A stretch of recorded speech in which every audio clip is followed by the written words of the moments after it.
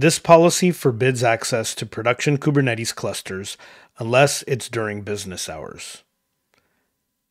Let's attempt to connect to this Kubernetes cluster.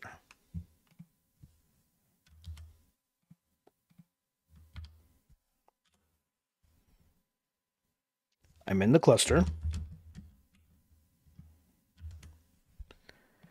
Let's change the hour to something that I know will deny it.